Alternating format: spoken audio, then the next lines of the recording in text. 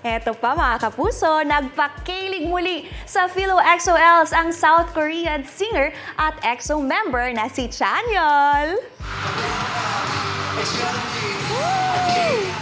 Yan ang show-stopping performance ng K-pop idol sa Manila leg ng kanyang Cityscape Tour sa Quezon City last weekend.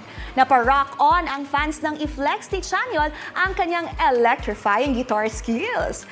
Hindi naman binigo ng XOL si Chanyol na todo cheer at nakising along sa hits na Back Again, Good Enough at Stay With Me. Last August 28, nag-solo debut ang K-pop idol at nirelease ang kanyang mini album titled Blacked Out.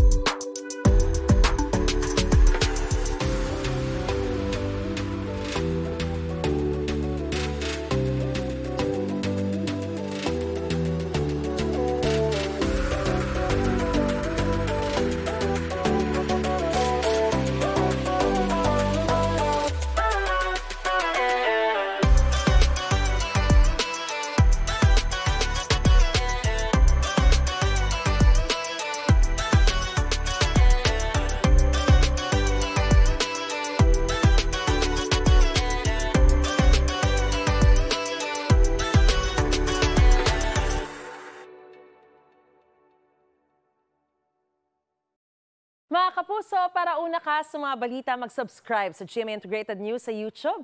Sa mga kapuso abroad, subaybayan niyo po kami sa GMA Pinoy TV at sa www.gmanews.tv.